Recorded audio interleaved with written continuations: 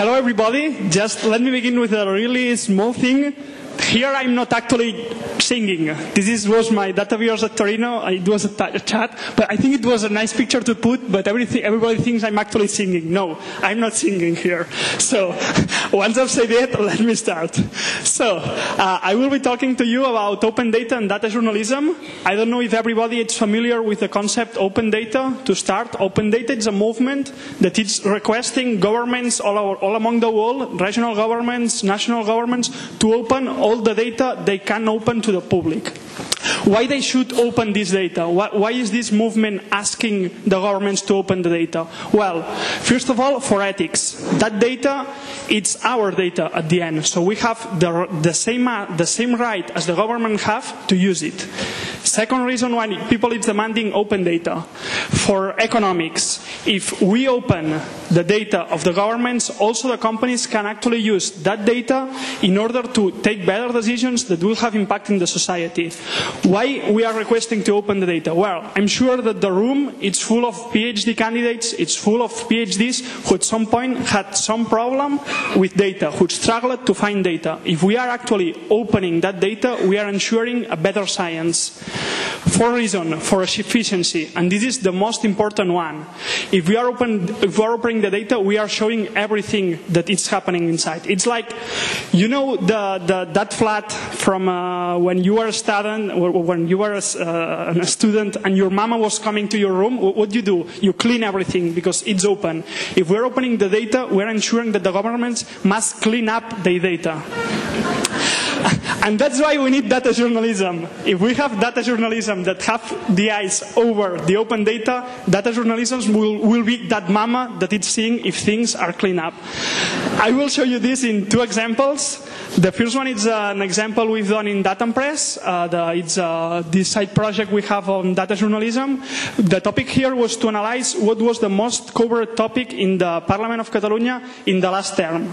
Well, uh, the first thing we did is, as everybody in the room will do, was to go to the open data portal of the Parliament of Catalonia and start downloading all the sessions. Well, what's the first problem we encountered? The data is in PDF.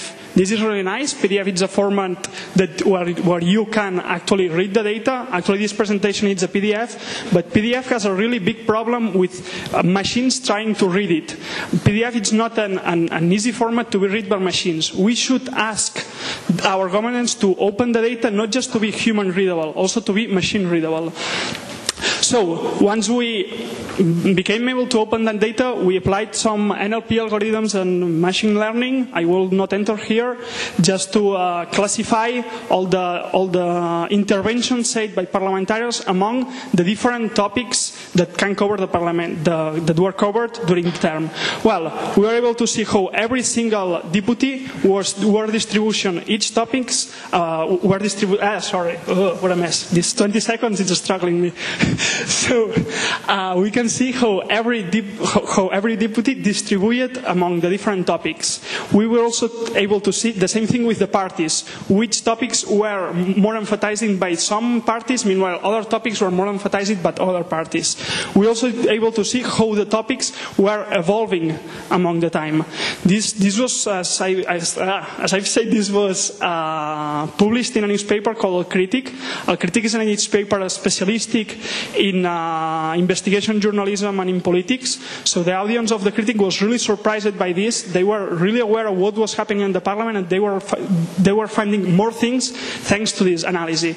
Let me show you the, I, sorry, and this was another conclusion. So that data journalism still needs, needs the journalism. It's not that we are using data journalism to take, to take the journalist out. Journalists still must be there to analyze the data that data journalism can take out. So this is the second example. This is from uh, New York. It's not mine, but I love it so much, so I just wanted to share with you. New York City is one of the most open data cities in the world. And well, if you go to open, uh, if you go to New York, you can actually not park next to an hydran. Otherwise, you get a fine. But what's the good thing about it? As uh, New York is a so open data city, you, you actually have a data set with all the fine, all the fines, all the tickets that were done in New York. So you can actually filter that data and look for all the fines that are just for hydrants in New York City. That's cool. Well, you will see here there are two very big spots just in the south of uh, Brooklyn, uh, in the south of Manhattan, uh, near the bridge of Brooklyn. These two hydrants recollected $60,000 per year each. That's a lot of money. I mean, I think almost everybody in the room like, like, would like that salary, right?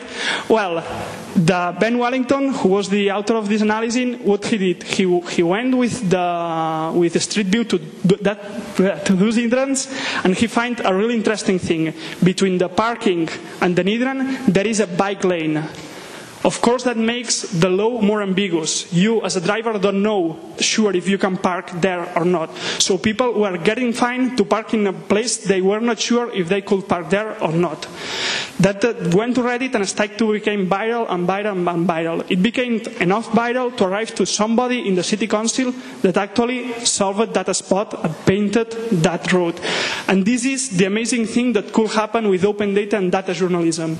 We could help our society to become better. Thank you very much.